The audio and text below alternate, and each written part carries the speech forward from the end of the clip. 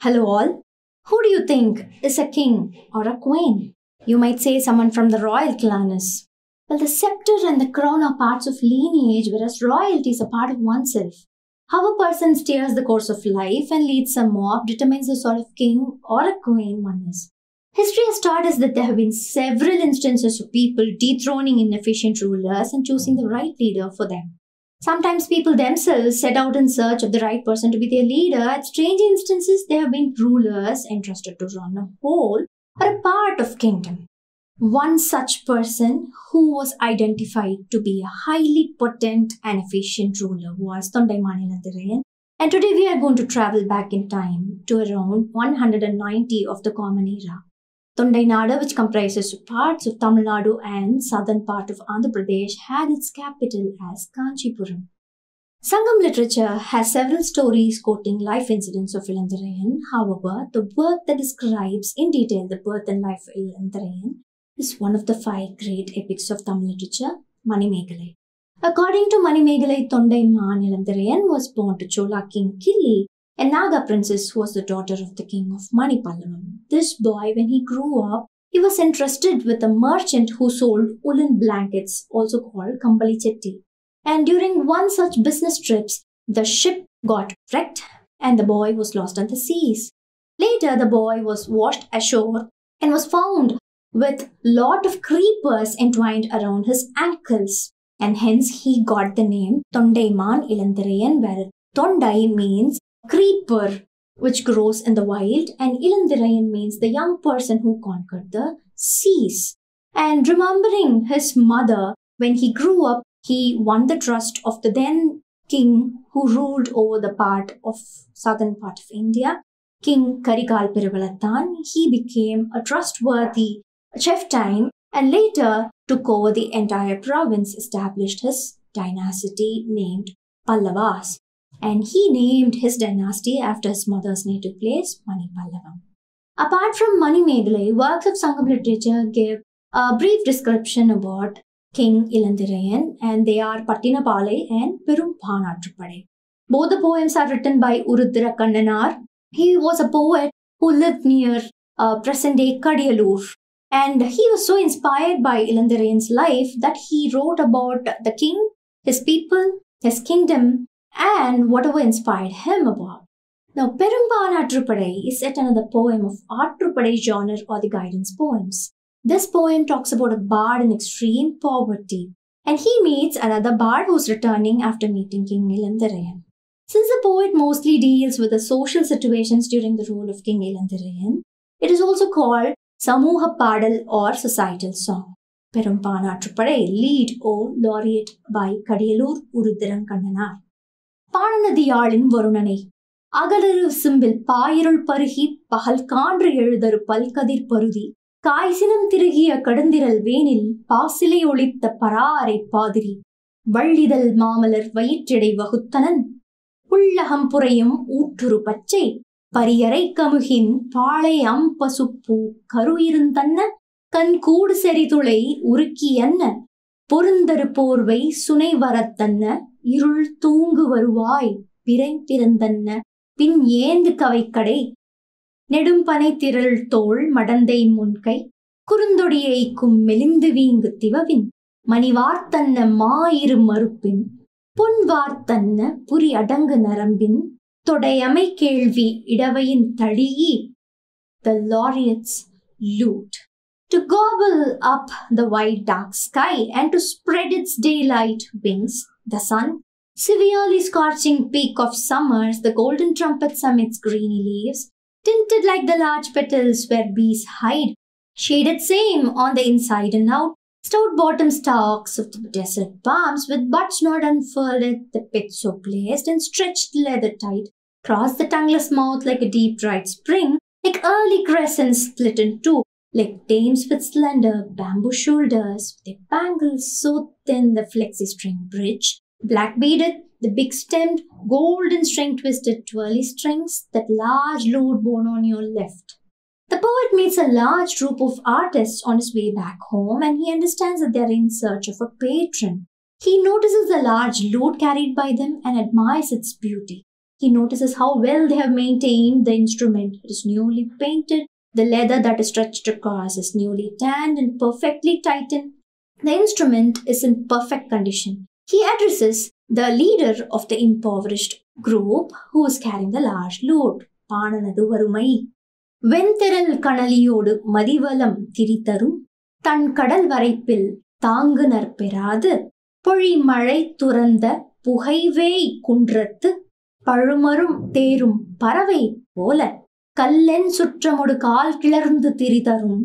பல்லென் Yaakkai புலவுவாய்ப்பானா The poverty of the bird, like the moon that warms against the revolving sun, birds not born by world islanded by cool waves, undrizzled mounds shrouded by ghostly mists, like birds that seek ripened boughs.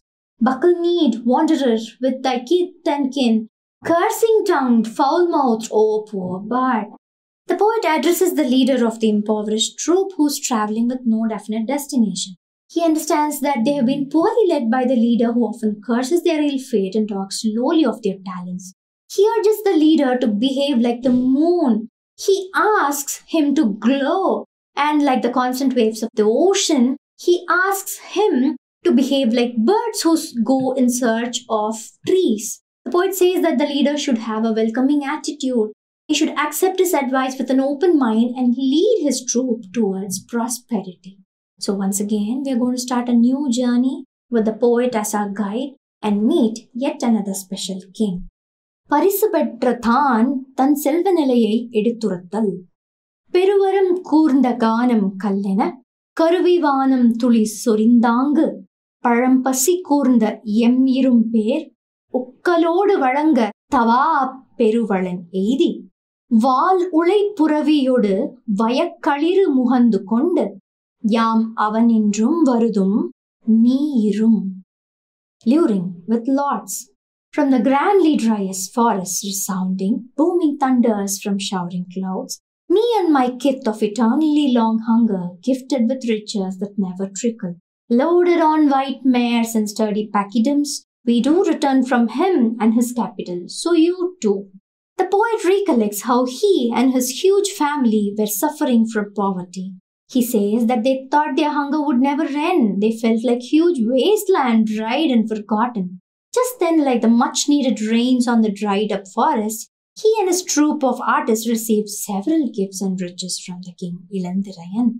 He points at the white horses and huge elephants loaded with sacks and boxes of gifts. Says that the other poet too should visit the generous king.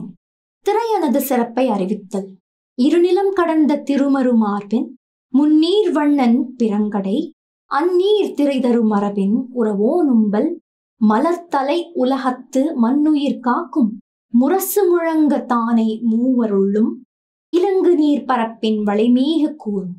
மலம்புரி அன்னவசை நீங்க சிறப்பின் அல்லது கடிந்த அறம்புரி செங்கோல் பல்வேல் திரையரங் படர்குவீராயின் கீழ் அவன் நிலையே கெடுகனின் அவலம் the praiseworthy Ilanthiraiyan. He who crossed the waters like the one with a dearly scarred chest. His clan he relates to those waters dark his complexion. The waves from cholas his genesis. The widespread world under the carrying wings of the royal tree whose praises sung with conscious of deepest waters that resonate his flawless virtues praiseworthy, his scepter oblivious all but virtues desire. If you think of Tirayan, the head of the valiant army, his benevolence shall wipe your distress clean. Here, the poet briefly explains the positive traits of King Ilandirayan. He says that, like God Mahavishnu who rules the great ocean, young Ilandirayan had fought the rough waves of seas to reach land. Just like how the three great clans, that is, the Cheras, Cholas, and the Pandyas, ruled to the satisfaction of their subjects, Ilandirayan also has proved worthy of praise. He has never shown any discrimination among his subjects. He has proved his bravery by fighting and winning several battle fronts.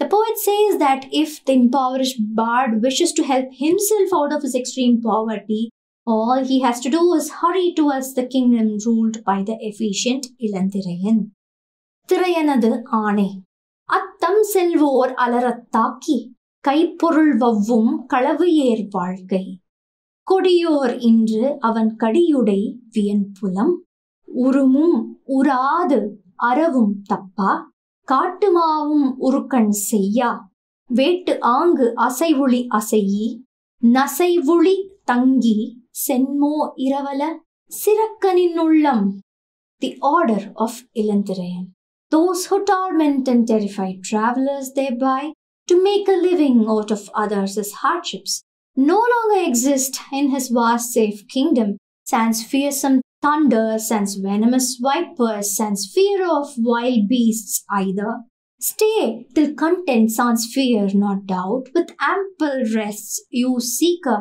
may your heart's desires be fulfilled here, the poet says that while several kingdoms faced huge threats from bandits and robbers, Ilantharian's kingdom is completely safe. He has fully controlled the threats of bandits and travelers, freely move about without any fear. The kingdom of Ilantharian also has no frightening natural elements. He says that even the thunder and snakes and wild animals lie low. They cause no trouble to anybody. The poet says that the troop members can take ample rest without any doubts and then head towards Kanchi. So, no fear as we near the city of Kanchi to meet King Ilandirayan. உப்பு வணிகர் செல்லும் நெடிய வழி கொழுஞ்சூட்டு அருந்திய திருந்துநிலை ஆரத்து முழவின் அன்ன முழு மர உருளி எழு உப்புணர்ந்தன்ன பருவுக்கை நோன்பார் மாரிக்குன்றம் மழை சுமந்தன்ன. ஆரை வேந்த அரைவாய் சகடம். வேழம் காவலர் குரம்பை ஏய்ப்ப. கோழி சேக்கும் கூடுடை புதவின் முளையேற்று இரும்பிடி முழந்தாள். ஏய்க்கும் துளையறை சீருரல் தூங்க தூக்கி நாடக மகளிர் ஆடுகளத்தெடுத்த வீசி வீங்கு இன்னியம் கடுப்பக் கயிறு பிணித்து காடி வைத்த கலனுடை மூக்கின் மகவுடை மகடு உப்பகட புறம் துறப்ப கோட்டியினர் வேம்பின் ஏட்டிலை மிடைந்த படலை கண்ணி பரு ஏர் எருள் திடித்தூள் முடலை யாக்கை முழுவலி மாக்கள் சிறு துளை கொடுநுகம் நெறிப்பட நிறைத்த பெருங்கயிற்று ஒழுகை மருங்கில் காப்ப சில்பத உணவின் கொள்ளை சாற்றி பல்லெருத்தூமணர் பதிபோரு நெடுநெறி the never ending path of the salt traders.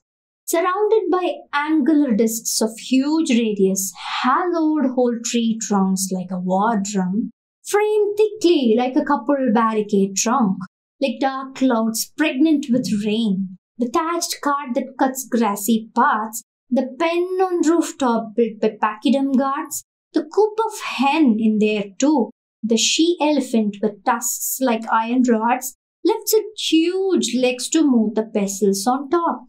To stop the mob as the lady artists perform, the barricading ropes so thick that tied like pickled people crowded on upturned pots. The dame with suckling hits the thick-skinned oxen whose hips bear bloomed neem stalks. Sturdy shoulders garlanded with buds and leaves, streamlined body, strong and fit people, like the tiny whole string with thickly ropes that drive the carts with ease. Price of the produce their salt along the long path the traders and their oxen carts take. Here the poet starts explaining the way that the other poet should take to reach the capital city of King Ilantharayan's kingdom. He says that the path would be a very long one, crowded with several bullock carts moving to and fro. Poet says that the carts would have wheels as huge as war drums. The masts or the frame of the carts will be made of thick tree trunks, and the roof of the cart would be made of dried grass woven tightly into a mat-like structure similar to the thatched roofs of uh, those who build their houses fearing invasion of wild elephants. The poet compares the heavy load of the cart to the dark clouds heavy with rain, and he says that the ropes used to tie the cart should be thick like the ones used to prevent the crowd from entering onto the stage where women performers danced. The people would look very strong and healthy They would wear garlands of neem leaves around their necks. The carts will be full of people and they will be driven by strong women, sometimes with infants in their hands. The poet says that these carts would carry salt traders. This, he says, would be the first clue to follow the path towards Ilanthirayan's kingdom. வம்பலர் கழுதை சாத்தோடு செல்லும் காட்டு வழி எல்லிடை கழியுணர்க்கு ஏமம் ஆக மலையவும் கடலவும் மான்பயம் தருவும் அரும்பொருள் அறுத்தும் திருந்து தொடை நோந்தாள் அடிப்புதை அரணம் எய்தி படம் book பொறுகணை தொலைச்சிய புன்தீர் மார்பின் விரவு வரி கச்சின் வெண்கை ஒள்வாள் வரையூர் பாம்பின் பூண்டு புடை தூங்க சுரிகை நுழைந்த சுற்றுவீங்கு செறிவு உடை கருவில் ஓச்சிய கண்ணகன் ஏற்றுத்தாள் கடம்பு அமர் நெடுவேள் அன்னமீழி உடம்பிடி தடக்கை ஓடாவம்பலர் தடவு நிலை பலவின் முழு முதற் கொண்ட சிறுசுளை பெரும்பழம் கடுப்ப மிரியல் புனர்புரை தாங்கிய வடு ஆள் நோன்புறத்து அனர்செவி கழுதை சாத்தோடு வழங்கும் உள்குடை பெருவழி கவலை காக்கும் வில்லுடை வைப்பின் வியன் காட்டு இயவின் traders and the herd of mules along the forest trail. To aid those day travelers, gifts from peaks and deep sea beds given. The benevolent practice of the giver unparalleled. Those with shoes on feet, well clothed, brave hearted, destroyers of bandits' arrows, sporting checked loin cloth and whitish gripped shiny sword that lie across like the python of the mounts, tightly fastened the waistbands, those broad shoulders which braved blackened arrows, valiant like the Valen himself, large hands holding spears, traders who don't scamper beneath the fat bent jack trees that hold sweetest tiny fruits inside the biggest of fruits. Pepper weight bone on the scarred shoulders, long eared mules and their might, told wide gates guarded narrow paths, villages of arrow barrowers deep along jungle trails. The poet says that the next common sight that the troop would come across is groups of traders herding their donkeys. The poet says that the traders would be fully armed, very strong, and fit to fight troublemakers. He describes them as people with swords who have defeated several soldiers in several battlefronts. The donkeys, on the other hand, are long eared donkeys, very strong and healthy, and they would carry huge bags of ripe jackfruits and peppers. They would lead them towards a wide entrance that would have toll gates. The poet says that the wide entrance would have several narrow paths beyond, leading into deep jungles where they would find lot of villages. The tribes of the villagers are manufacturers of arrows used by the king's army. So, traders, travelers, interesting combination. Looks like the entire way is going to be buzzing with different types of people. Let's breathe in some fresh air, cinnamon at the arrow maker's place. எயினர் குடிசை.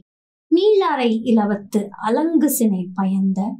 பூளை அம்பசுங்காய் புடை விரித்தன்ன. விரிப்புற அணிலோடு கருப்பை ஆடாது. யாற்றரல் புறையும் வெறின் உடை கொழுமடல். வெற்றலை அன்ன வைனுதி நெடுநகர். ஈத்து இலை வேய்ந்த எய்ப்புற குரம்பை. தி arrow bearers huts. Long leaved broad trunked cinnamon trees that bear cottony soft fleshy fruits wide paired with equally soft striped squirrels not mice where river becomes one the bulky white back part and sharpest tips of the sharpest spears on plateau. Piney spiked iron leaves thatched roofs of huts the poet indicates that the troop, as they enter into the deep part of the jungle, would find huts on raised platforms. These huts would have spike like roofs resembling porcupines of the jungles. And these huts of the arrow bearers who make arrows and spears for the king's army, the poet says that the village would be enclosed by grove of cinnamon trees where squirrels would freely roam about. Sometimes these squirrels would be accompanied by white mice and they would happily play along without any discrimination. புல்லரிசி எடுத்தல் மான்தோல் பள்ளி மகவுடு முடங்கி ஈன் பிணவு ஒளிய போகினோன் கால் இரும்பு தலை யாத்த திருந்து கணை விழுக்கோல் உடிவாய் சுரையின் மிளிர Mindy இருநில Karambai படு நீரு ஆடி நுண்புல்லடக்கிய வெண்பல் ஏற்றியர் cluster grass grains, bed of stag skin, where suckler curled up, with its mother resting postpartum, others toiled with ironwood pestles, crushing with its flat-headed crowbar up and down. Dust of black soil spread in air, mortar with thin cluster grass grains, pearly-teethed women. The poet explains how they would find the tribal women folk work tirelessly to grind cluster grass grains. The grains are much like normal paddy, but they are thinner and fairer. The dry lands of the forests were rich with these grains, and so the women would use mortars and pestles they crafted themselves to clean them out. He warns the leader of the troop that if they find a deerskin bed, they shouldn't wander that way because it was the tribe's practice to let the newborn child and its mother to rest on it.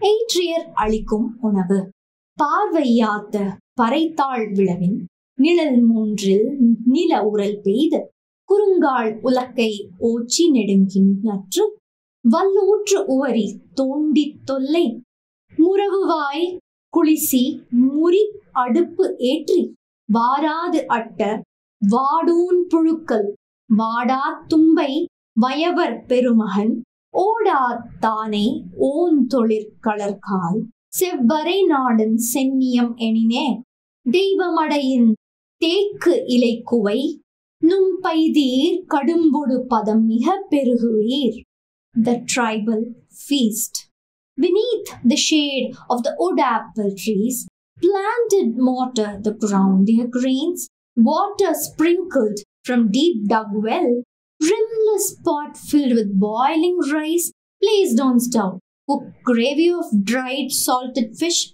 uncut fish with parboiled rice, ever fresh flowers worn by the head of the troop, maravas of never backing bravery, and roots of tall peak kingdom. Say thou art poets, will lay broad teak leaves piled with mount like food and feast served to you and your kin. The poet explains how hospitable the arrow bearers would be. He says that they were related to the Maravas who were known for their extreme skills in warfare. All the leader has to do is approach the tribal head who can be identified with a garland of fresh flowers. As soon as one introduces himself as a poet in search of patronage, the entire troop would be given a grand feast. The tribe would serve them cooked parboiled rice with dried fresh gravy on broad leaves from teakwood trees. பாலை நில காணவர்களின் வேட்டை. மானடி பொறித்த மயங்கு அதிர் மருங்கின். வான்மடி பொழுதில் நீர் நசை குளித்த அகழ் சூழ் பயம்பின் அகத்து ஒளித்து ஒடுங்கி புகழாவாகை பூவின் அன்ன. வளை மறுப்பு ஏனம் வரவு பார்த்திருக்கும். அரை நாள் வேட்டம் அழுங்கின் பகல் நாள் பகுவாய் ஞமலியோடு பைம்புதல் எருக்கி தொகுவாய் வேலி தொடர் வலை மாட்டி முள்ளரை தாமரை புல் இதழ் புறையும் நெடுஞ்செவி குறுமுயல் பூக்கு அறவளை கடுங்கண் கானவர் கடறு கூட்டுண்ணும் ஆருஞ்சுரம் இறந்த amber. Huntsmen of the deserts At dusk, when stag hoof prints seen, waterholes dug when rains failed, forgotten to be closed that serve as hide spots among golden flowers of humming tree, waiting for the curved horned wild pig, hunt seized at midnight. The other half fanged mouths of the hunting dogs search around the bushes, where nets laid mid of high fences like the petals of thorny lilies, long eared wild hares not let escape, wild and tough tribes feast upon together, pass the wild desert to travel further. The poet says that the next set of tribe would be huntsmen of the deserts. These were natives of lands where it never rained. The people used to dig water holes to store rainwater, which dried up during the summer. These water holes were used as hiding spots by hunters. These hunters hid themselves waiting for wild stags or wild pigs that roamed in search of water. Sometimes these hunters used their hunting dog to search among thick bushes that had burrows of wild hares.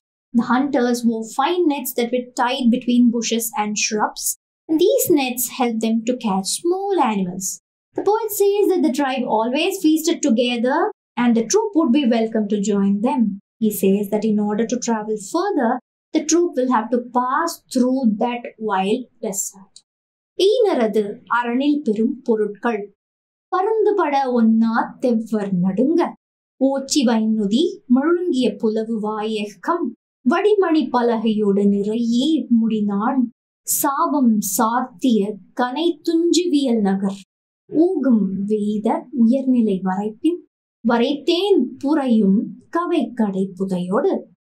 கடுந்துடி தூங்கும் கணைக்கார் பந்தர் தொடர்நாய் யாத்த துன்னுரங்கடிநகர் வாழ் முள் வேலி சூழ் மிளைப்படப்பை கொடுநுகம் தழிய புதவின் செந்நிலை நெடுநுதி வயக்கழு நிறைத்த வாயில்.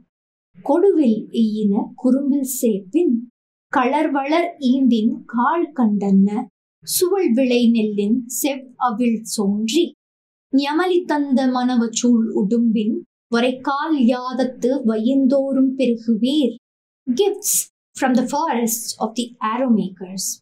Terrifying attack on foes that invites scavenger huts. Pungent meaty smell on the sharpened tips of spears.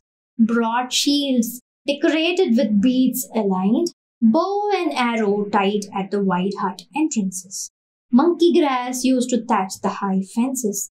Shrimped combs tied to the tails of arrows palm drums tied to the thick posts of the tents, tightly secured huts with ferocious hounds on guard, greeny thorns used as fences, bulky crossbars guarding the front doors, sturdy, sharp, spear-headed logs as weapons too, the bowed bows expertly crafted by the tribes, from the farms on plateau harvested red rice, from fennel-like paddy cooked to perfection, monitors hunted by hounds with eggs shaped like conches, cooked and served will you be. Here, the poet explains how wild, strong, and ferocious the people of the Arrowmaker tribe were. They hunted down the enemies in such a way that the dead were strewn for the eagles and vultures to feast upon. They had sharp spears and broad shields crafted with their own hands. To symbolize their expertise, every hut in the tribal village had a sample bow and arrow tied at the entrance. The arrows they made were tipped at their tails with shrunken honeycombs brought down from the tall peaks of the mountains.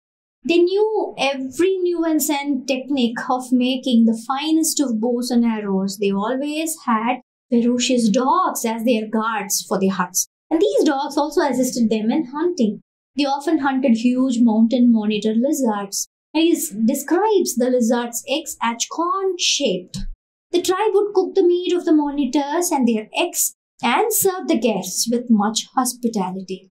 After enjoying the hospitality of the huntsmen, we would love to stay over for some more time, but we have a great deal to travel and greater to learn. குறிஞ்சி நில மக்களின் இயல்பும் தொழிலும் யானை தாக்கினும் அரவுமேல் செல்லினும் Neil நிற விசும்பின் வல்லேறு சிலைப்பினும் சூழ்மகள் மாறா மரம்பூன் வாழ்க்கை வலிக்கூட்டு உணவின் வாட்குடி பிறந்த புலிப்பூத்த அன்ன புல்லணல் காளை செல்லாய் அன்ன கருவில் சுற்றமோடு கீழாமன்னர் கடிப்புலம் புக்கு. நாள் ஆ தந்து நரவு நொடை தொலைச்சி இல் அடுகள் இன் தோப்பி பருகி மல்லல் மன்றத்து மதவிடை கேண்டி மடிவாய் தன்னுமை நடுவன் சிலைப்ப சிலைநவில் ஏறத்தோள் ஓச்சிவலன் வளையு பகல்மகள் தூங்கும் தூங்கா இருக்கை முரண்தலை கழிந்த பின்றை the ways of the mountain tribe. Let an elephant trample, serpents crawl over, let the blue sky send bolts of thunder. Neither pregnant women quiver for them, the lives led by their braving swords, headed by tiger like ox strong leader, like the hound the traces send slow flawlessly, but the tribe calves seized from those stubborn heads refused to bow. Early before the dawn, bartered for toddy, rice toddy brewed and quenched at home, fatty meat cut and feasted upon, leather stretched across the wide mouthed drum, in the mid left side used to archery, and right side arched. Day that never lets the swing sleep, fixed to the place you cross, and then the Maravas or the tribe on the mountains are known for their unmatched bravery. It is told that even a fetus in the womb of its mother does not flinch at the sounds of thunders or thunderous sounds of elephants. A woman whose full term, even on the verge of her delivery, does not tremble or show any sign of fear, even if a snake slithers over her. The leader is compared by the poet to a very strong ox with bravery like that of a tiger. The Maravas are known to be excellent trainers of hunting dogs. Kings of bigger dynasties are uh, known to have Maravas as a major part of their army.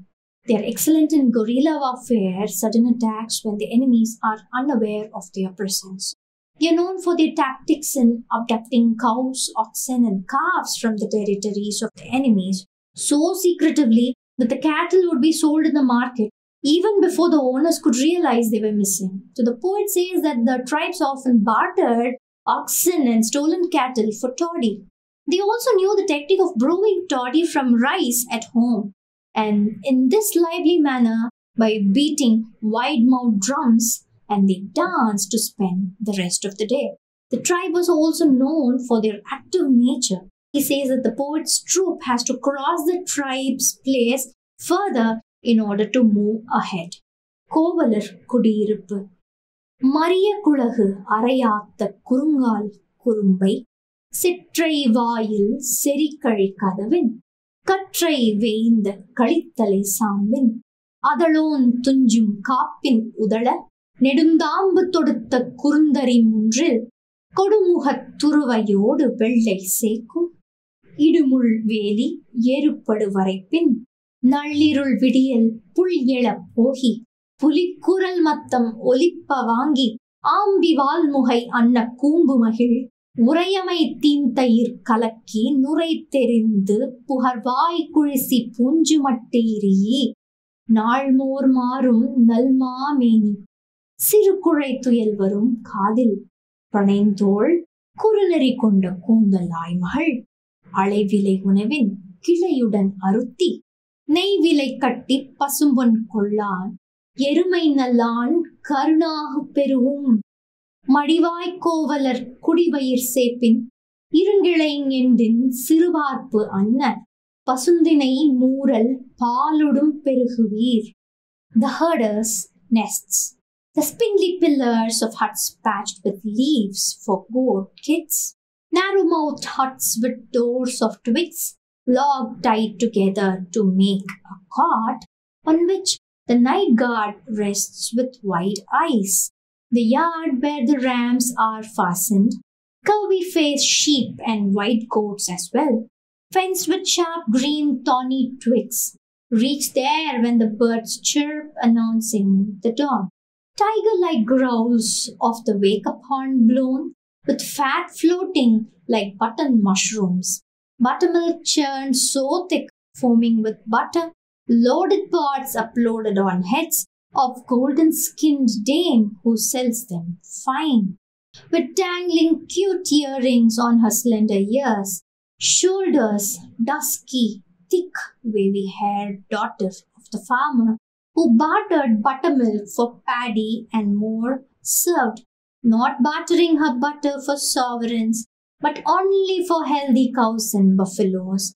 Shelter in the whistling herders' abodes, millet so tiny like crab's tiny eyes cooked and served with rich cow's milk too.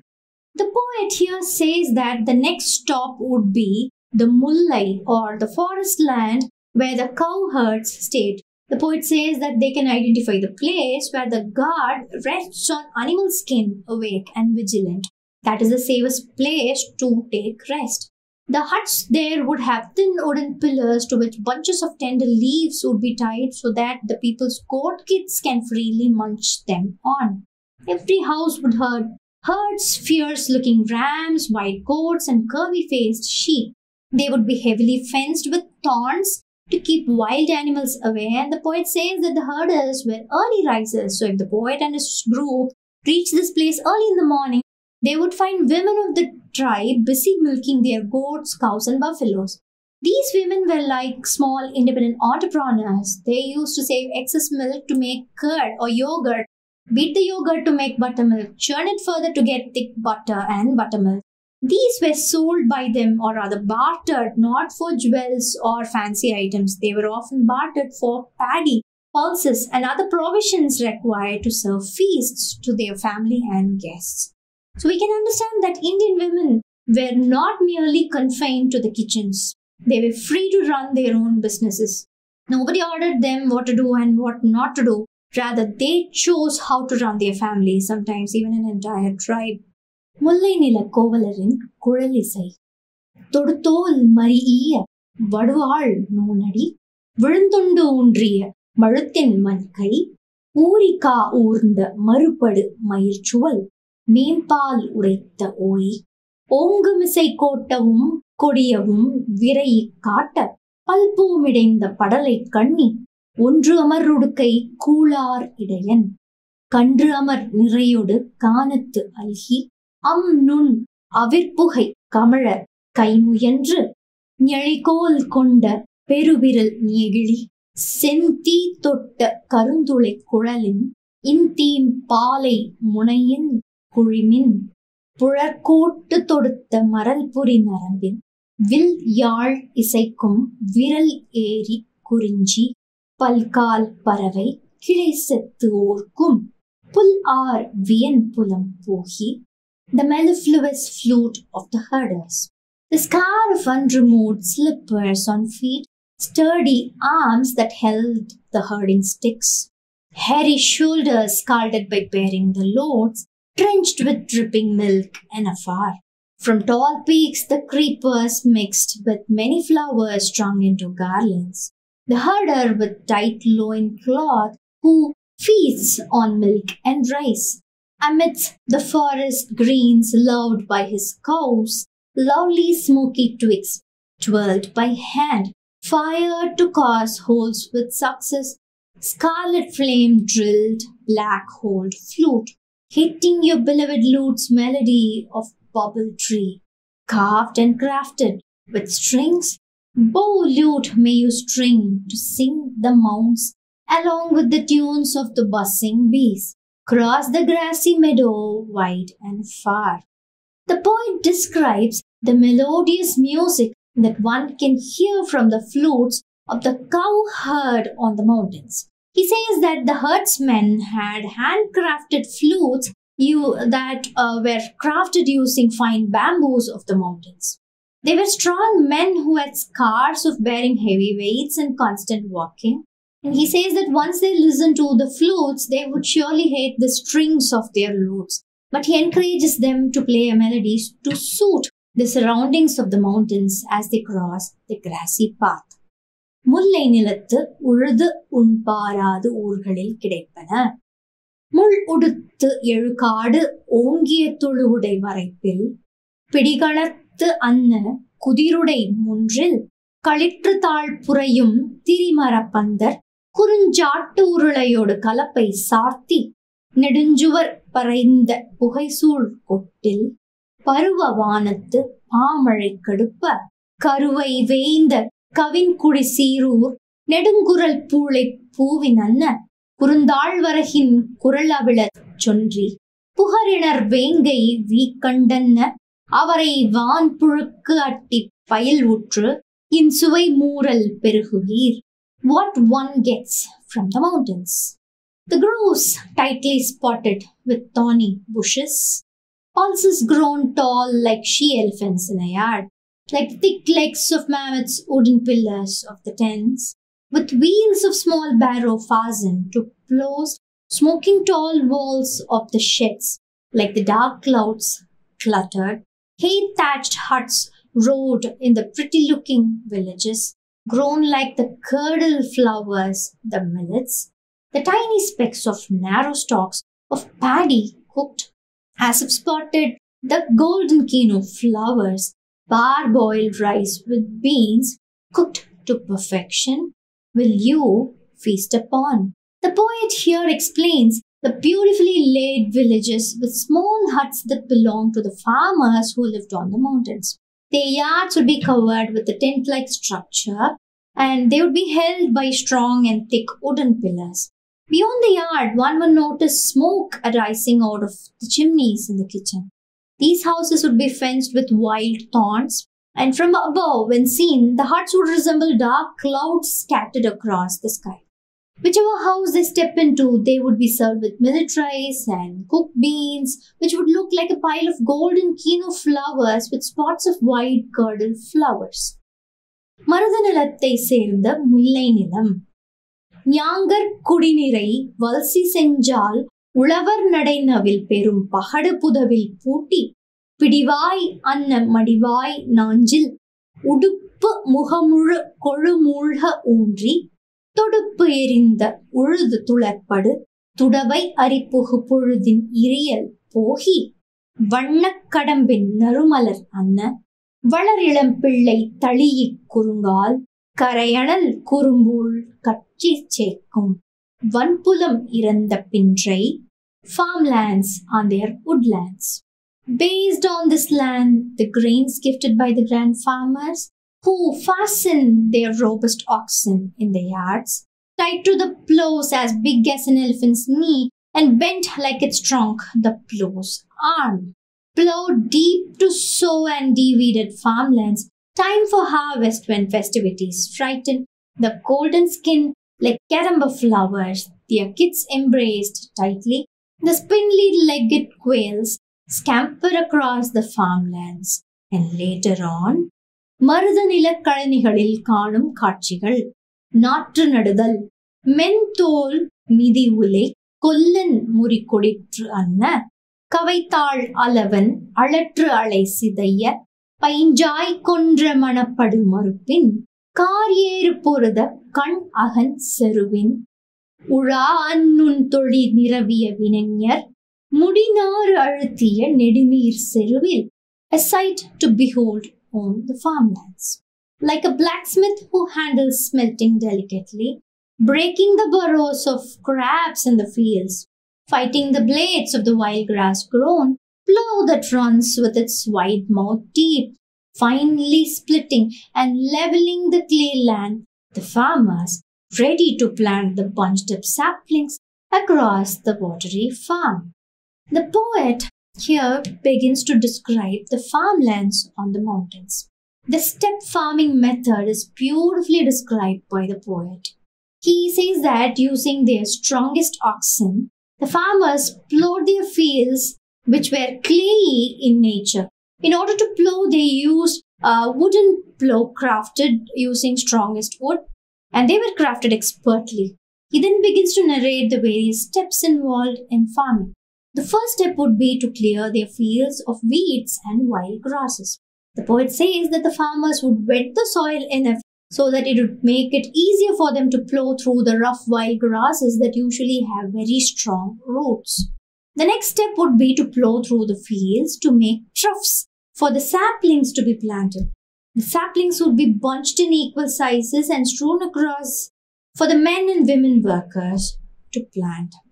So, how advanced we were with agriculture. People back then, I'm talking about 2500 years ago, were experts in farming and not on just plain lands but on mountains as well.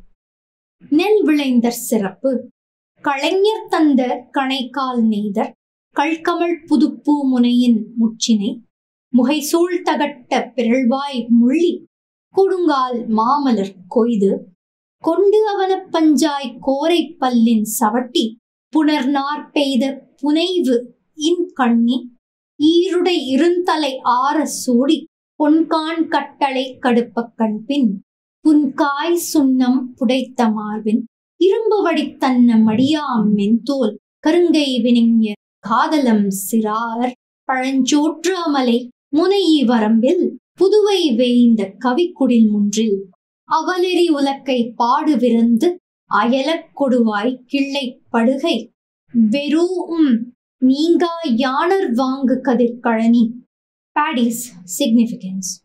The Deweeders gifts denied, of fragrant flowers refused, tawny dark flowers of nightshade gathered from the strewn, from the place plaited wild grass to make garlands out of them, the dames who can cut them fine with their teeth to don the strings on the delicate dark hair and across their touchstone bosoms, covered delicately with morphine like finely crafted flawless skin, labors with strong arms and their juveniles, denying the fermented rice of yesterday, head to newly thatched hut with roofs, climb atop roofs with wooden hand to frighten the wild parrots that try to nest there, unbroken, newly grown, full and lush fields. நெல்லறிந்து கடாவிடுதல் கடுப்புடை பறவை சாதி அன்ன பைது அறை விளைந்த பெருஞ்செந்நெல்லின் தும்புடை திரள் தாழ் துமித்த வினைஞர் பாம்பூரை மருதின் ஓங்கு சினை நிழல் பலிபெரு வியன்களம் மலிய ஏற்றி கடம்கொள் சுற்றமொடு கைப்புணர்ந்து ஆடும். துனங்கை அம் பூதம் துகிலுடித்தலை போல சிலம்பிவால் நூல் வளர்ந்த மருங்கின் குமுழு நிலை போரின் முழுமுதல் தொலைச்சி பகடு ஊர்ப்பிழிந்த பின்றை துகள் தவ பையும் துரும்பும் நீக்கி பைது அற குடகாற்று எரிந்த குப்பை வடப்பால் செம்பொன்மலையின் சிறப்பத் தோன்றும் தன்பனை தழிய தளராயிருக்கை The harvest and the sacrifice. Like the stinging hornet's large brown paddy, harvesters who cut with bent sickles, work on farm with burrows of snake beneath the trees, rise their sacrifice with mounds of paddy, join their friends and drive together, dance on harvest their arms entwined, like white webs of spiders strung with fine delicate strings, mats brought and spread across, goats sacrificed and to please their gods, cleaned and dried to be cooked later, as strewn paddy along the north, scarlet golden mounds majestic grace reflected in the farmers' abodes. In these lines, the poet explains more practices of the farmers on the mountains. He says that the farmers strung garlands for themselves and their women or of flowers that were taken from the weeds on their lands. The women are described as beauties with flawless skin of dusky gold color. The men are extremely strong and robust and are often accompanied by young boys who worked as apprentices. These boys spent their time climbing rooftops to chase the parrots and birds away from eating the harvested crops. The poet says that after the crops were harvested, they used to take a handful of paddy and throw it in the air as a sacrifice to the gods. They also brought fat rams and sacrificed them at the altar. These sacrificed goats were then cleaned and cooked along with rice and millets they had just harvested. மருதநிலத்து ஊர்களில் பெரும் உணவுகள். பகட்டு ஆயின்ற கொடுநடை குழவின் கவை தாம்பு தொடுத்த காழூன்று அல்குல் ஏணி எய்தா நீள்நெடு மார்பின் முகடு துமித்து அடுக்கிய பழம்பல் உணவின் குமரி மூத்த கூடு ஓங்கு நல்லில் தச்ச சிறார் நச்ச புனைந்த ஊரா நற்றேர் உருட்டிய புதல்வர் தளர்நடை வருத்தம் வீட அலர் முலை செவிலி அம்பெண்டிர் தழியே பால் ஆர்ந்து அமளி துஞ்சும் அழகுடை நல்கில் தொல்பசி அறியா துளங்கா இருக்கை மல்லல் பேர் ஊர் மடியின் மடியா வினைஞர் தந்த வெண்ணெல் வல்சி மனைவாள் அழகின் வாட்டொடும் பெருகுவீர் food style of the mountain dwellers. The rope that tethered newly delivered calves tied to the posts aside. Neither ladders could reach the tall mounds, wide mouthed drums filled to the brim with paddy. In every house with all around year's supply, young carpenters sing as they work on. Toddlers, rattles, and wheel toys finally who suckle to ease their tire.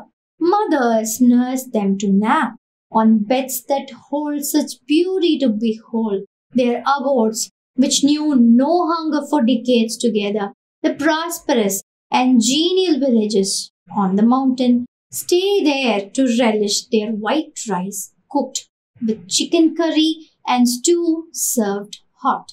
The poet explains how the villages on the mountains are very fertile. He says that there has never been a famine in any of the places Uh, their quality supply for uh, paddy, millets, never stopping supply of milk from their cattle keep the places prosperous always. He suggests that the poor poet and his troop should stay there, have their fill, as they would be served with white rice and chicken as a loving gesture towards their guests.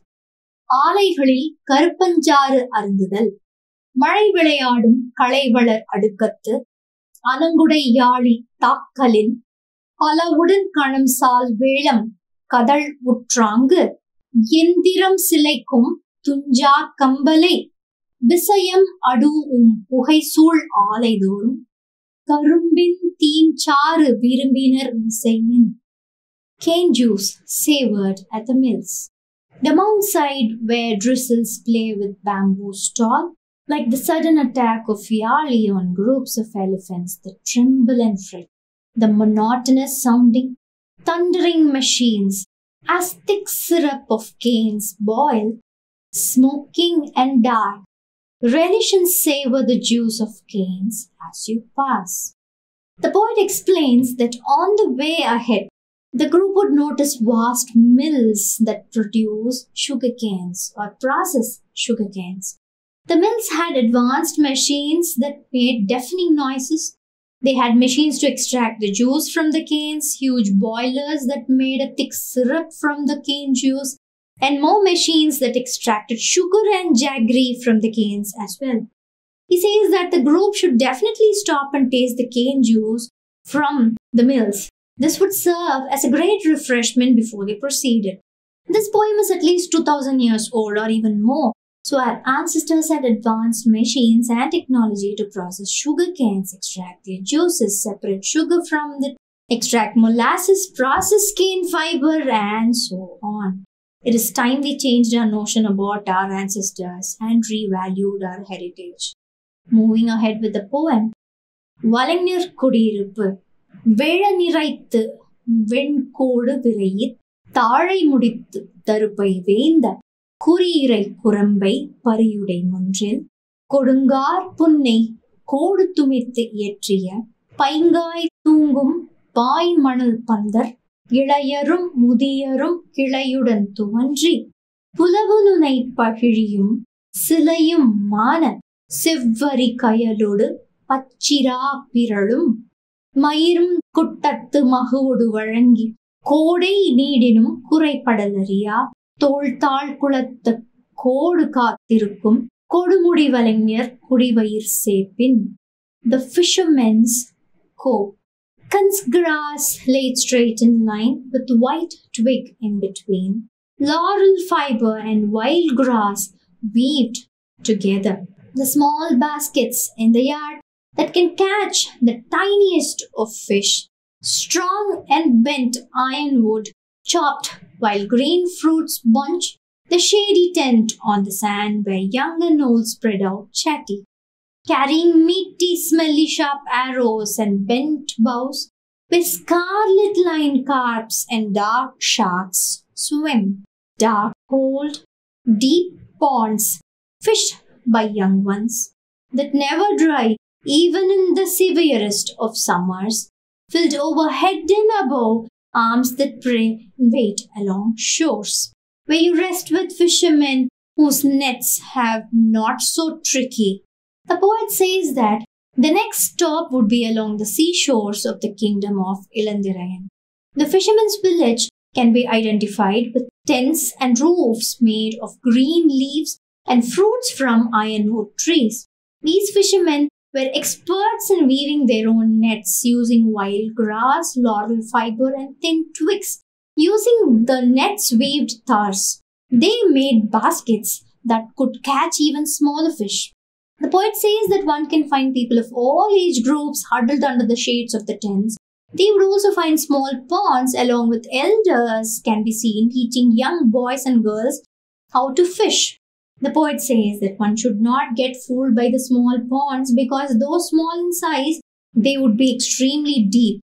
The poet says that most of the ponds would be deep enough to swallow a fully grown man with even arms above his head.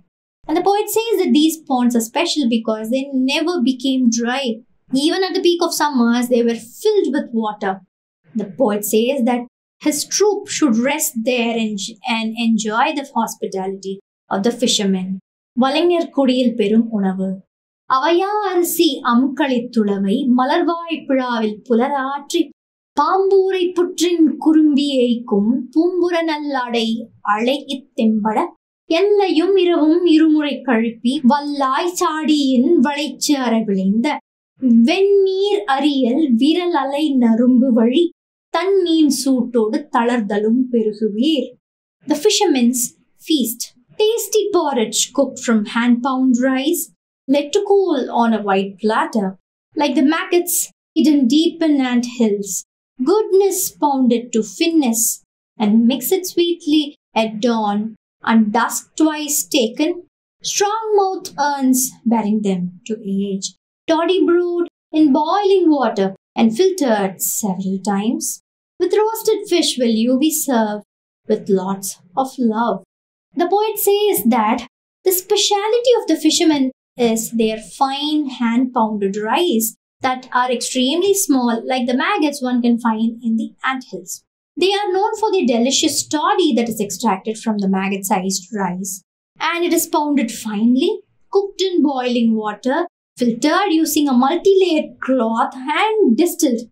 This distilled toddy is then stored in pots that have narrow but strong mouths that are tied up tightly with a cloth so that the toddy could age. The poet says that the fisher people would serve the tasty toddy with uh, fish roasts and uh, many more for the guest who rest for the day there. காலையில் நீர் பூக்களை சூடி போதல் பச்சூன் பெய்த சுவல்பிணி பைந்தோள் கொள்வல் பான் மகன் தலைவலித்தையாத்த நெடுங்களை தூண்டில் நடுங்க நான் கொழி கொடுவாயிரும்பெண் மடித்தலை புலம்ப பொதியிரை கதுவிய போல்வாய் வாழை.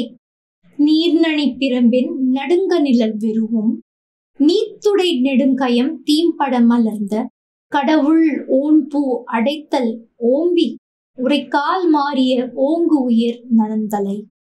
அகலிருவானத்து குறைவில் ஏய்ப்ப அரக்கு இதழ் குவளையோடு நீலம் நீடி முரட்பூ மலிந்த முதுநீர் பொய்கை குறுநர் இட்ட கூம்பு விடு பன்மலர் பெருநாள் அமையத்து பிணையினிற் கழிமின் Where the water lilies at dawn. Fresh meat borne on shoulders padded with meaty skin, expert fisherman that he who holds the string tied from the trembling tip of bamboo, the bent mouth of the fishing line left to lament, the bait untouched by the elusive scabbard that scared of the bamboo shades cast on waters, swim-worthy waters that hold flame-like blooms, loved by gods, the water lilies. The broad grounds up and high that cease to rain, half bowed like the celestial one across the sky. Vermilion and blue petal water lilies and other blooms ancestral to the waters, yet so flexible to those who wish to nip them and sport on you before you proceed post dawn. The poet says that another speciality of the ponds and lakes in the fishermen cove are the plenty of water lilies and rare flowers that are strewn everywhere. He says that if one decides to fish in these ponds, even after several hours, one cannot catch a single fish as the ponds hold very active scabbard fish that are extremely difficult to catch. He wittingly says that the fishing rods would be deeply disappointed and even they bend like the rainbow across this white sky, they will not hold any catch. The poet says that it is from these ponds the fishermen take flowers to their temples to decorate their gods and goddesses. There will be lilies with red petals, blue ones, and several rare flowers, and they will be easily accessible to anyone who wishes to pluck them. The poet says that they should definitely carry a few flowers with them before proceeding further in the morning. It is a long journey indeed, but trust me, it is totally worth it. And we are going to meet many more people before we meet the great king, Ilanthiraiyan, the founder of the Pallava dynasty. அந்தனரது உறைவிடங்களில் பெறுவன. செழுங்கன்று யாத்த சிறுதாட்பந்தர் பைஞ்சேறு மெழுகிய படிவ நல்நகர் மனை உரை கோழியோடு நியமலி துண்ணாது வளைவாய் கிள்ளை மறைவிழி பயிற்றும் மறைக்காப்பாளர் உரைப்பதி சேப்பின் பெருநல்வானத்து வடவையின் விளங்கும் சிறுமீன் புறையும் கற்பின் நறுநுதல் வழக்கை மகடு ஊவையின் அறிந்து அட்ட சுடற்கடை பறவை பெயர்படுவத்தம் சேதா நறுமோர் வெண்ணையின் மாதுளத்து உருப்புரு பசுங்காய் போளோடு கறி கலந்து கஞ்சக நறுமுறி அளையி பைந்துணர் நெடுமரக் கொக்கின் நறுவடி விதிர்த்த தகைமான் காடியின் வகைப்பட பெருகுவீர். Enter the abode of the Brahmins Young calves tied to the slender pillars supporting the tent over down mopped floors, abodes where no hens nor dogs enter, where even parrots repeat and chant the Vedas. Protected by the Brahmins, to their abodes you enter, like the northern star shining bright and pure and chaste with fragrant forehead and brightly bangled arms. The women will serve well cooked rice of a special name, along with thickly churned buttermilk and pomegranate pearls marinated in the butter and sprinkled with pepper, curry leaves spluttered and taken from green and tall tree with cluttered branches bearing tender mangoes, pickled so fragrant and spicy will you be served. Here, the poet explains that the next stop would be in a small place with narrow streets with houses uh, that would have cows and calves tied to the post and the porch. Every front yard would be mopped with cow dung, which is very traditional practice of South Indians, and the houses would be perfectly clean. They would have no signs of dogs or hens anywhere on the street either. The poet says that this would be where the Brahmins resided. He says that they can enter any of the houses and they would find hospitable women ready to serve them food. He says that the women folks in that place would be so divine looking, with vermilion tilak on forehead, lot of bangles on their arms, and they would be chaste as the ancient symbol of chastity, Arundhati, the wife of sage Vasishta. According to legends, the sage and the wife became stars in the constellation, and though they are two in number, they would look as if they are single star when looked with naked eye. The poet says that the Brahmins' house one would serve with hot piping rice cooked perfectly, with curry leaves splattered in oil, with powdered pepper, thick buttermilk, and pomegranates led to marinate in thick homemade butter. As a side dish to the thick tasty curd rice, the women would also serve them tender mangoes pickled, or rather what we call mavadu, with blended spices perfect. நீர் பெயற்ற எனும் ஊரின் சிறப்பு வண்டல்லாயமோடு உன்துறை தலையில் புனலாடு மகளிர் இட்ட புலங்குழை இறைத்தேர் மணிச்சிரல் இறை செத்து எரிந்தன புல்லார் பெண்ணை புலம்பு மடர் செல்லாது கேள்வி அந்தனர் அருங்கடன் இருத்த வேள்வி தூணத்து அசையி யவனர் ஓதிம விளக்கின் உயர்மிசை கொண்ட வைக்குருமீனின் பைப்பய தோன்றும் நீர்பெயற்று எல்லை போகி significance of நீர்பெயற்று playfully dropped at the gushy banks by dame who bathed their gold danglers mistaken for prey by bluey fisher birds, not taking the palm lobes that nestle birds, wise scholars presented with pillars planted atop on the masts of the Greek ships, the lamps that aglow far, like the Venus on the broad dark sky over the border of Near Petra,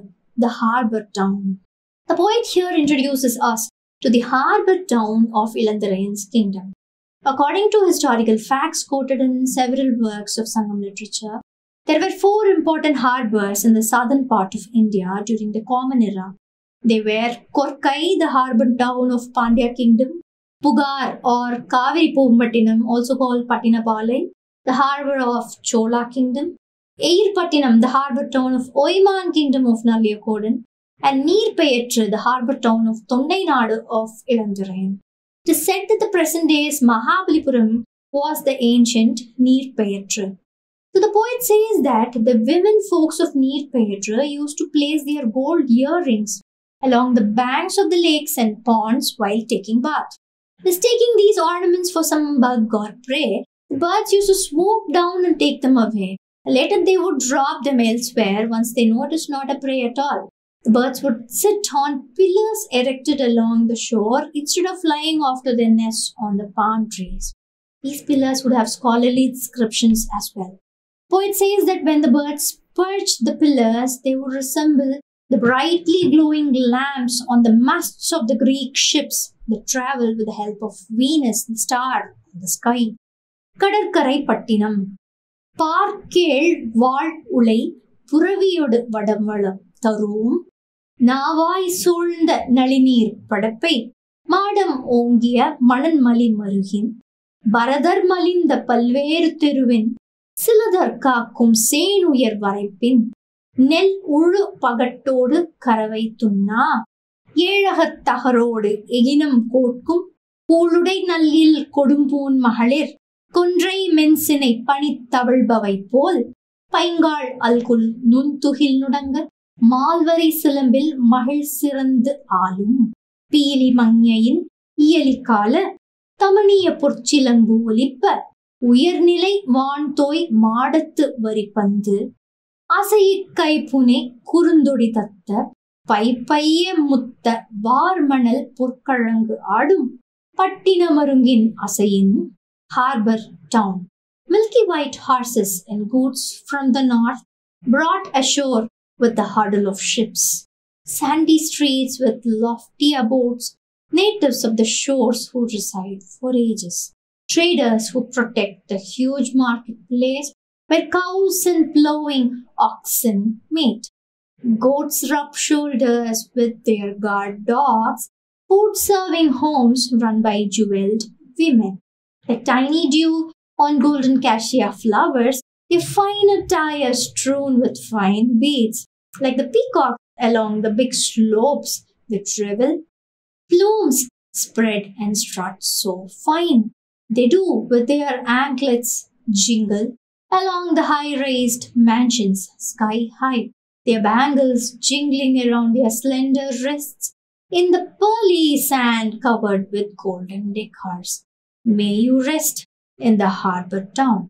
The poet says that the harbor town of Neer Payatru is a busy seashore. One can always find fleets of ships loaded with fine horses brought from far away. You will also have several riches, exotic goods from the north. The streets will be covered with fine sand. The houses of Neer Payatru will be tall and huge, and the marketplace will be very big.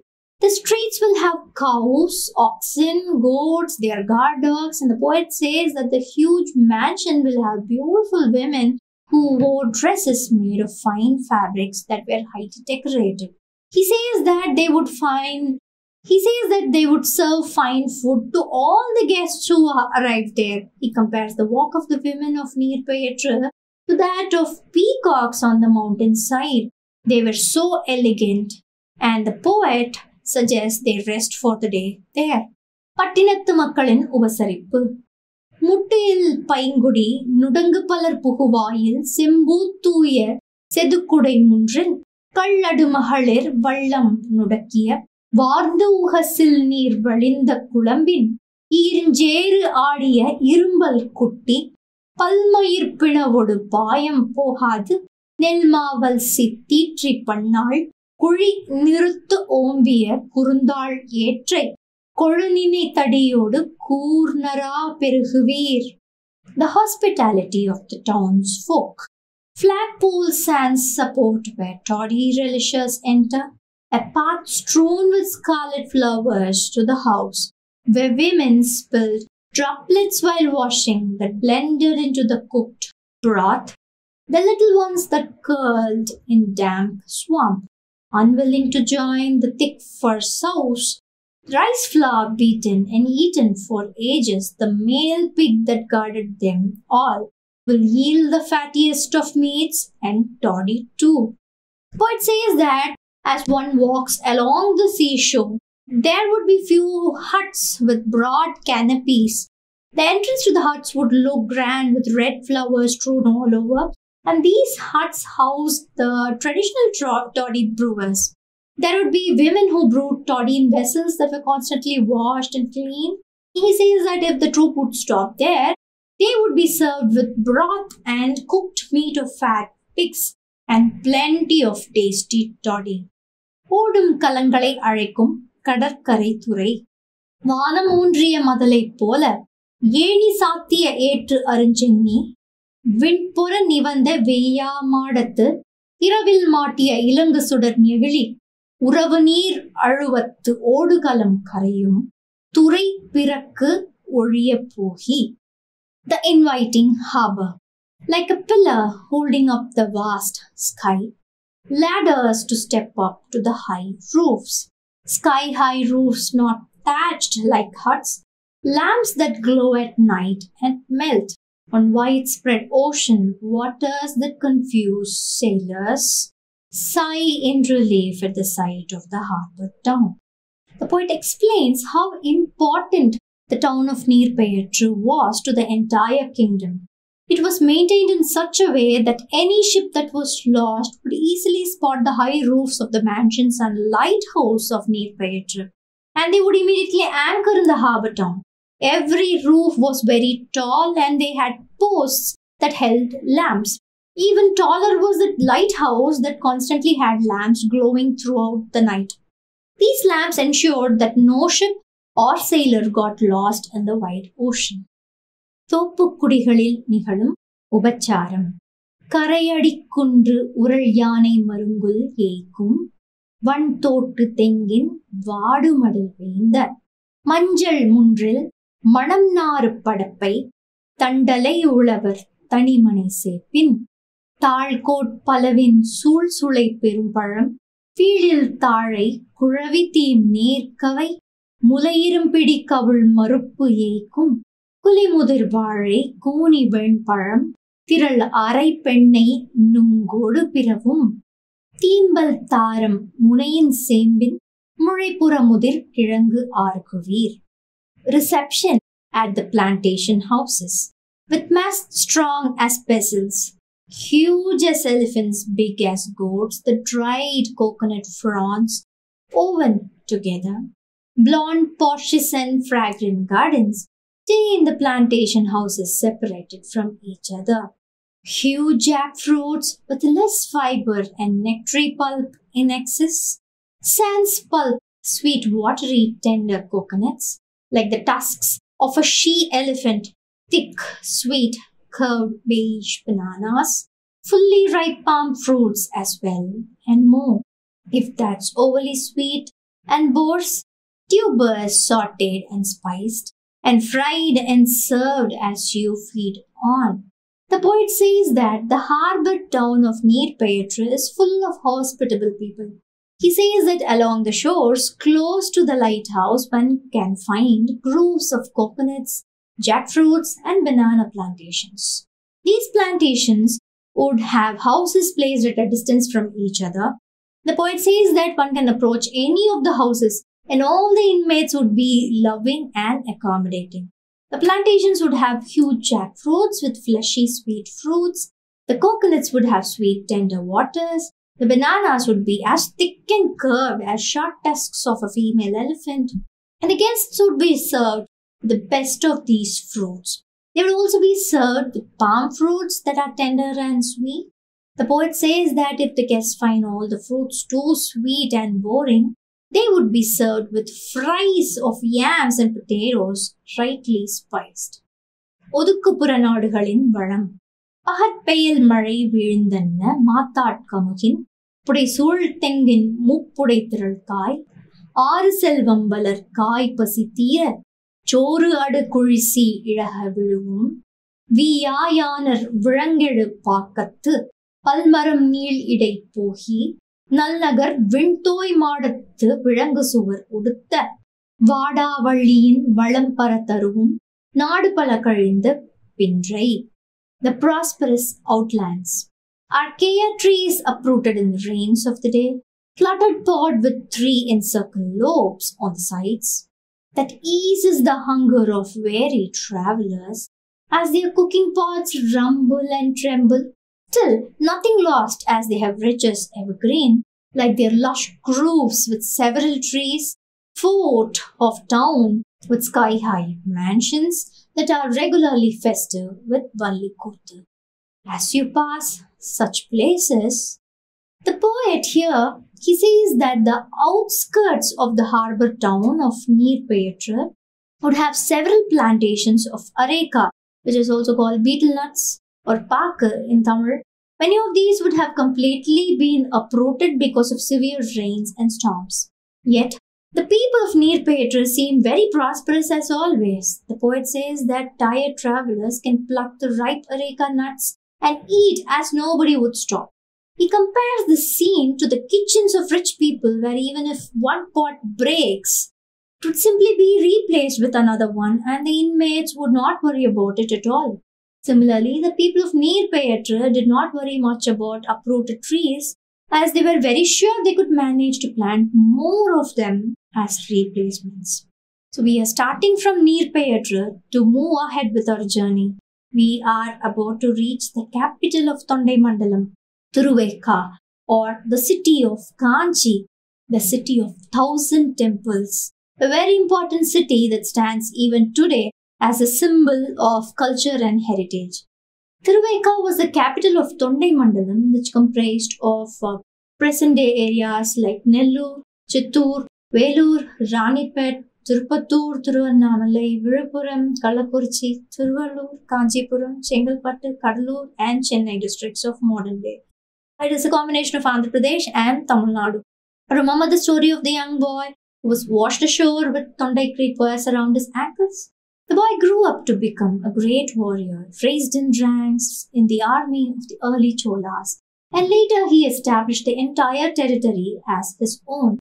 And in the memory of his mother's birthplace, Manipallavam, he named his dynasties as Pallavas and became the founder of one of the greatest dynasties that ruled over southern part of India.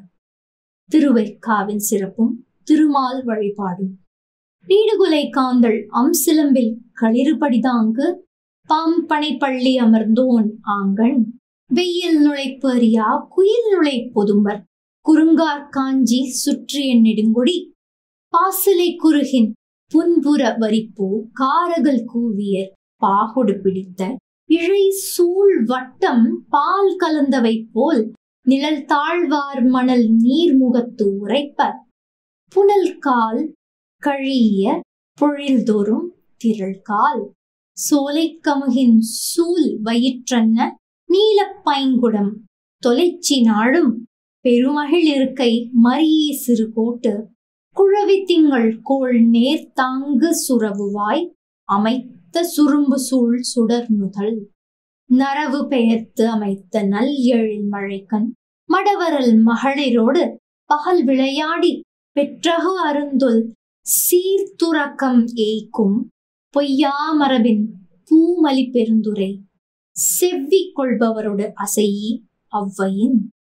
அருந்திரற் கடவுள் வாழ்த்தி சிறிதனும் கருங்கோட்டு இன்னியம் இயக்கினர் கழிமின் Tiruveka and the worship of Vishnu.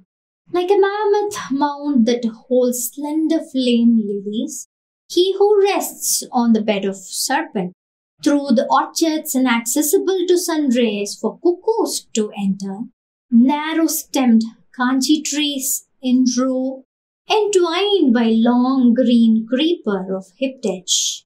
Cellar with black pot full of pancakes and syrup, like when the same floats atop cream, shady sandbanks wherein falls hard. The reflections of the denser orchards. Like the bloated belly of the areca trees, blue goblets gulp down daily, with joy in the vast place arrested, like the snake that tries to gobble the crescent, sharkly like mouthed bees inviting light source. Honey droplet shaped like the eyes, playful with the devoted dames in the day, unmatched fame of the world above, ever flowing banks where flowers huddle, and as spring flows, may you rest and praise the Lord who rests there with a tune from your dark lute and then proceed.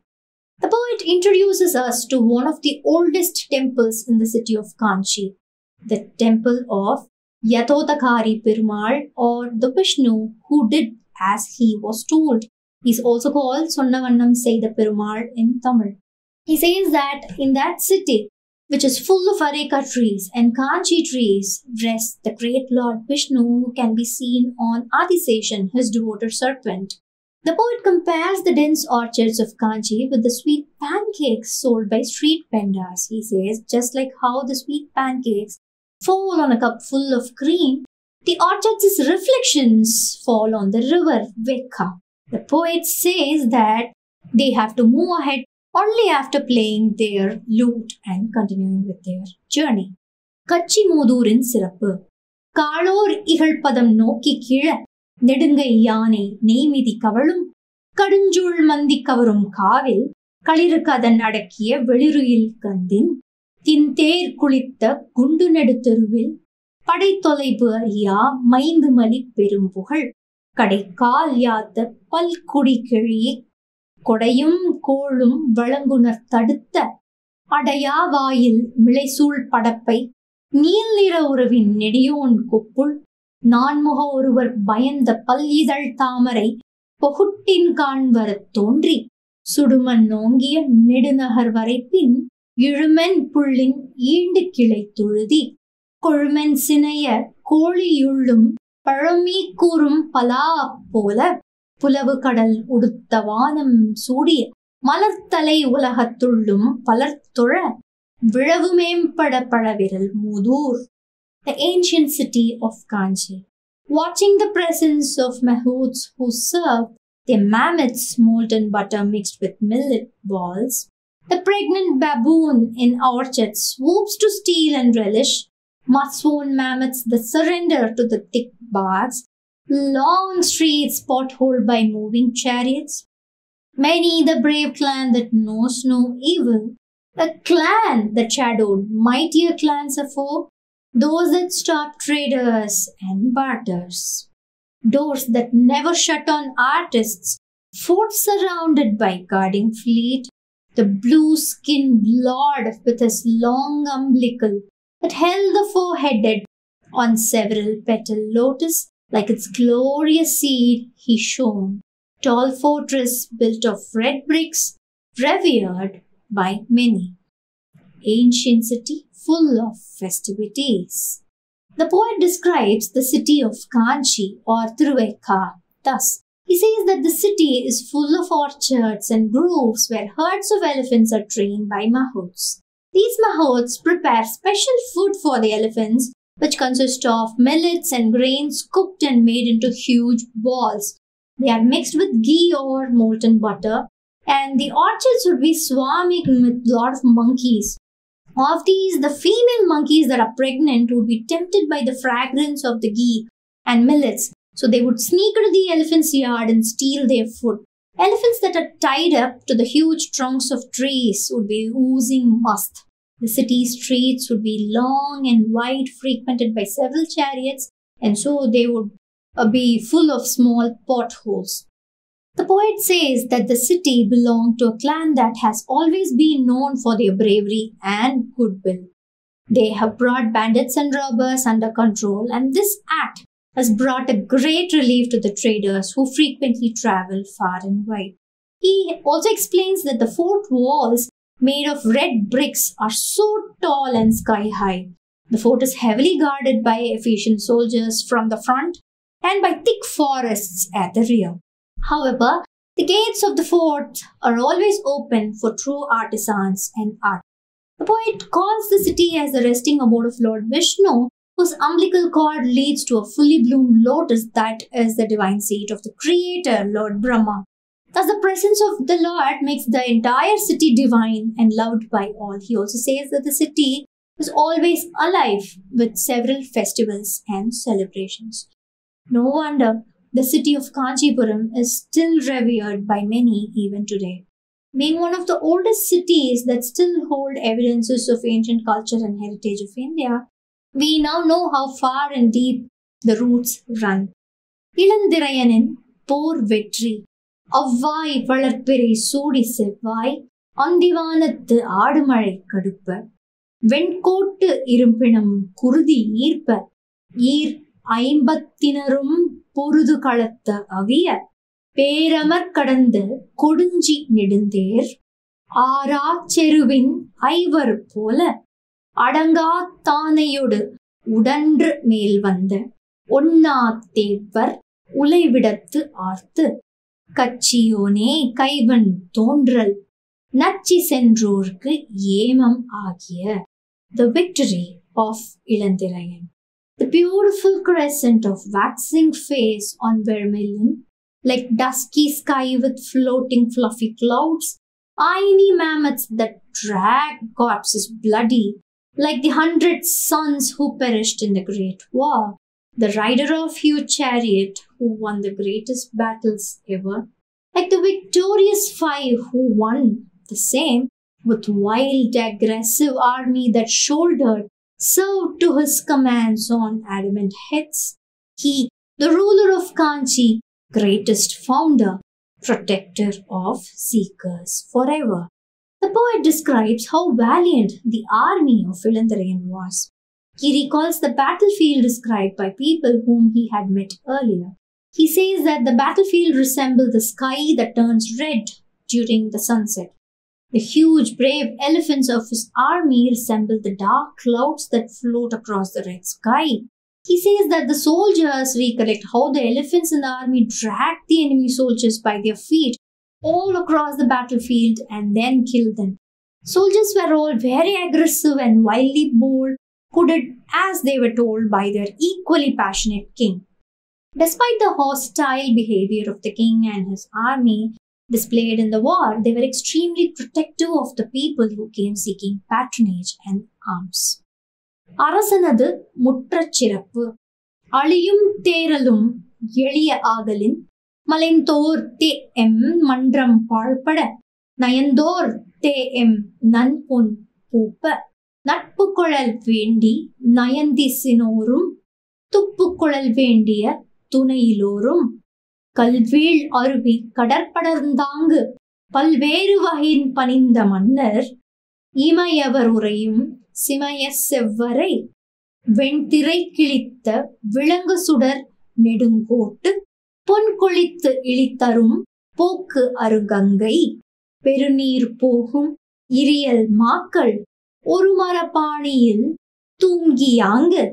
தொய்யா வெறுக்கையொடு துவன்றுப குழியிற் செவ்வி பார்க்கும் செழுநகர் முற்றத்து The King's Yard.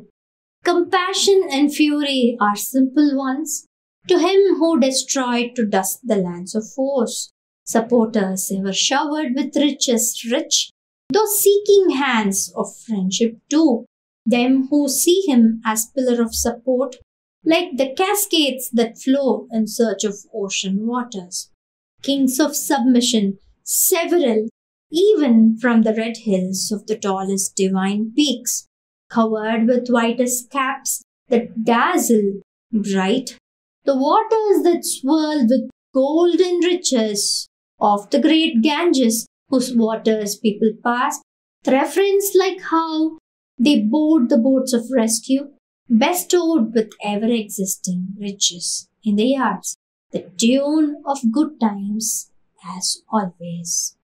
The poet says that even though Ilanthiraiyan is extremely brave and aggressive warrior, he's very soft natured when it comes to lending a helping hand to those who needed his help. He describes the different ways in which the kings of other lands and chieftains from several notable areas were in harmony with Ilanthiraiyan, while the adamant ones were made to bow with the display of his bravery at the battlefront. Many voluntarily extended hands of friendship. Several kings sought the help of the great king to defeat their foes, thus revered the king as their lord protector. The poet compares the act of people seeking support from Ilanthiraiyan with the great river Ganges. Just like how people seek the help of boats to cross the wide river, people seek the support of king. And the yard of the king palace is equally wide and accommodating, and people often swarm in the yard with eagerness to drench themselves in the love and support of the kind king. திரையன் மந்திரி சுற்றத்தாரோடு அரசு வீற்றிருக்கும் காட்சி பெருங்கை யானை கொடுந்தொடி படுக்கும் கருங்கை கொல்லன் இரும்பு விசைத்து எரிந்த கூடத்தின் இசை வெறியை மாடத்து இறை உரை புறவின் செங்கார் சேவல் இன்துயில் இரியும் பொன் துஞ்சு வியல் நகர். குணக்கடல் வரைப்பின் முன்னீர் நாப்பண். பகல் செய் மண்டிலம் பாரி தாங்கு. முறை வேண்டுனர்க்கு குறை வேண்டுனர்க்கும். வேண்டுப வேண்டுப வேண்டினர்க்கு அருளி. இடை தெரிந்து உணரும் இருள் தீர் காட்சி. கொடைக்கடன் இருத்த கூம்பா உள்ளத்து. உரும்பு இல் சுற்றமுடு. இருந்தோர் குறுகி. The picturesque scene of the king on throne.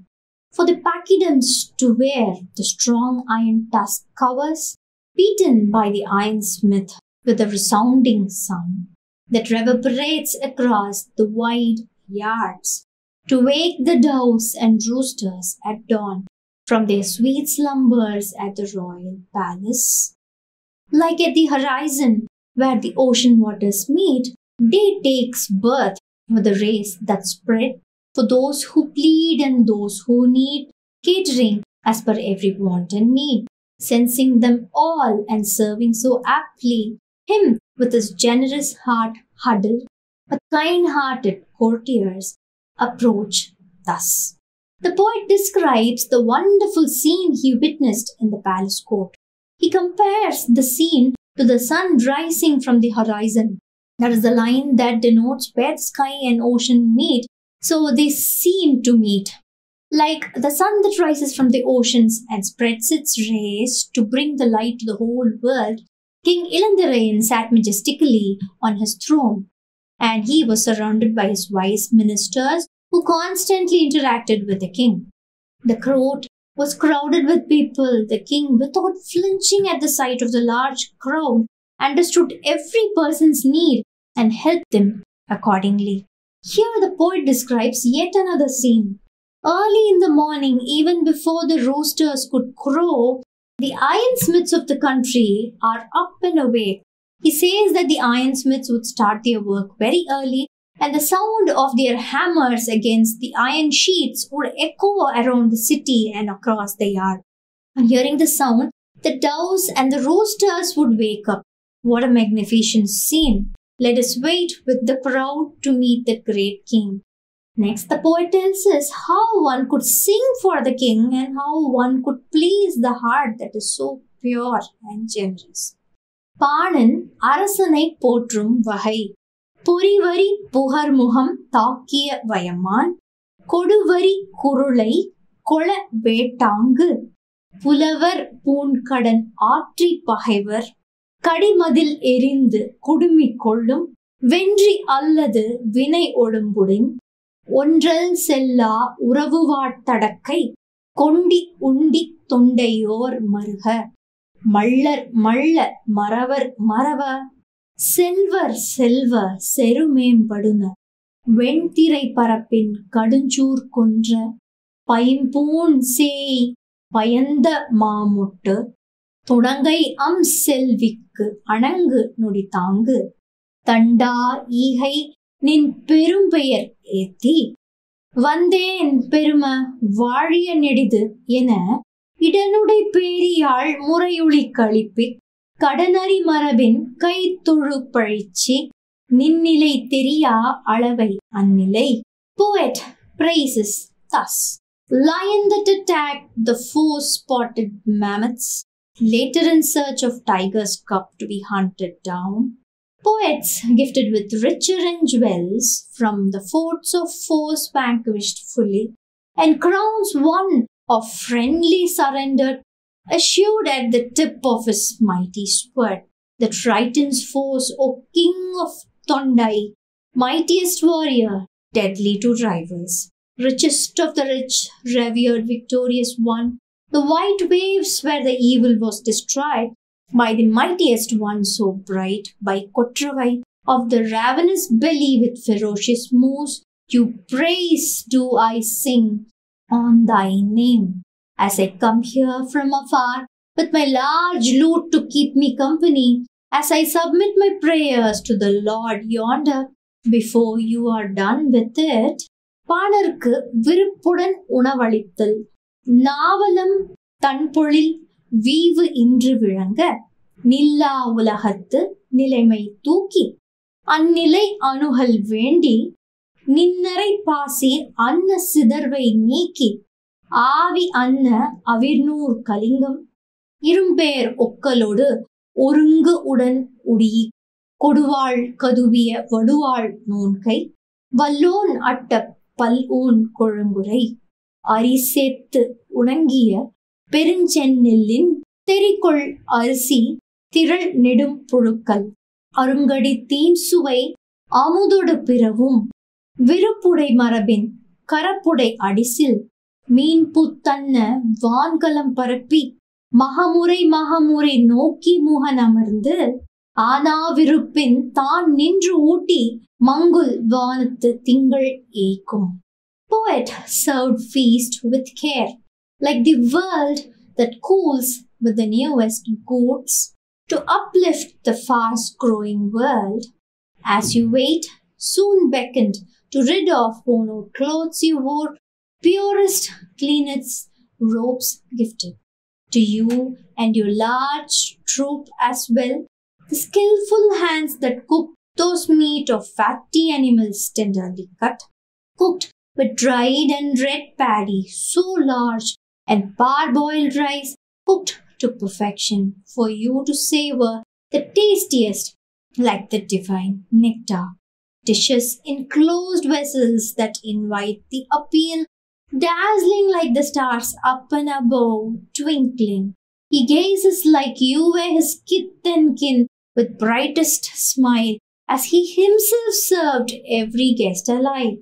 He, like the shining moon in the dark skied night. In these lines, the poet says that the king personally led every guest into the dining and served them with love and care. Even before they could ask, he sensed their needs and gifted them accordingly. Their dirty clothes were replaced with new ones. They were all made to sit on par with the king at the tables. Dishes cooked by the royal cook were served in silverwares and they twinkle like the bright stars in the sky. Poet recalls how lovingly the king served the guests and looked at them as if they were his own relatives and friends. He urged them to have their fill and served them personally, and thus he compares the king to the cool moon which wards off the darkness in the night sky. What a magnanimous king! And someone who would sit with the guests who came seeking alms truly great and praiseworthy. Tondaiman Ilanthiraiyan, the bravest founder of Pallava dynasty, vanquisher of foes, friendliest patron, and symbol of magnanimity. We drenched ourselves in the shower of hospitality rendered at the palace by the king himself. And before we get in the poem's last few lines, we have to learn a little more about Tondaiman Ilanthiraiyan. Ilanthiraiyan is mentioned in another work of literature, the Purananuru. Saint Avai calls him the befitting adversary of King Adiyaman, who is quoted as one of the seven Samaritans, Kadayelu Vallal. Ilanthiraiyan's clan is almost 2500 years old, and many sources confirm that it was he who built the popular Tirupati temple. According to a few sources, Lord Vishnu appeared in the king's dream and instructed him to construct a temple. The king built the main sanctum and its tower, and he also supervised regular prayers and pujas. And today, the temple is buzzing with devotees from all around the world. So, listeners who are aware of the royal three, the Cheras, Cholas, and Pandyas, might wonder why the Pallavas were never included. Why uh, were they not called the royal four? The answer is quite simple. The Pallavas or the ancestors of Ilanthiraiyan were not Tamil people. They were initially patrons of Sanskrit and later around 6th century of the common era they started patronizing Tamil. But we cannot deny the ancient contribution by the Pallavas were generous and praiseworthy just like the royal three Tamil clans. So we shall move ahead with the poem. பரிசு வழங்குதல் ஆடு வண்டு இமிரா அழல் அவிர் தாமரை நீடியிரும் பித்தை புலிய சூட்டி. உறவு கடல் முகந்த பருவு வானத்து பகற்பெயில் துழியின் மின்னு நிமிர்ந்தாங்கு. புனை இருள் கதுப்பு அகம்புலிய பொன்னின் தொடையமை மாலை விரலியர் மலைய. நூலோர் புகழ்ந்த மாட்சி மால் கடல் வளை கண்டன்ன வாலுளை புரவி. துணை புணர்த்தொழில் நால்குடன் பூட்டி அரித்தேர் நல்கியும் அமையான் செருத்தொழித்து ஒன்னா தெவ்வர் உலைவிடத்து ஒழித்த விசும்பு செல் இவளியோடு பசும்படை தரியி அன்றே விடுக்கும் அவன் பரிசில். The prizes golden lotus is not bothered by buzzing bees place in honour on your dark tresses like the clouds that suck every drop of percept and like the lightning that strikes in day showers your darkness gets erased with the dazzle of the golden garlands of jewels gifted to dames. And riders of fine horses who sing his praise him like the Lord who rode white horses, charioteers and chariots together gifted, driven by four of the finest horses, won from battles and deserted by foes, mares that run faster than the wind, with saddles new, his gift showered the very same day. The poet says that sticking on to the tradition of gifting, the king would first honor the head of the group with golden lotuses. The women folks would be gifted with gold jewels studded with precious stones and pearls. And the troop would also be gifted with huge chariots and fine horses. The horses would be capable of running so fast since they were all trained in battlefront. The king would also send charioteers to ride the chariots, and he would not wait until the day the troop decided to leave he would start gifting them the very same day they met him. இளந்திரையனது மலையின் பெருமை இன்சீர் கிண்ணரம் முரலும் அணங்குடை சாரல் மங்கை ஆளும் மரம் பயில் இரும்பின் கலைப்பாய்ந்து உதிர்த்த மலர்வீழ் புறவின் மந்தி சீக்கும் மாத்துஞ்சு முன்றில் செந்தி பேணிய முனிவர் வெண்கோட்டு களித்துரு விறகின் வேட்கும் ஒளிரு இலங்கு அருவிய மலை கிழவோனே the king's mount the peaks where nightingales sing the sweetest of tunes forests where peacocks danced and huddled, flowers strewn by meddlesome monkeys, forest yards of tigers and deers raided by female baboons, sages deep in penances, White tusked elephants roam in herds, lord of mounds with dazzling cascades. The poet closes the poem with a short description of the mountain in the kingdom of Ilanthiraiyan. He says that the mountain is covered with dense forests where exotic birds and animals lived.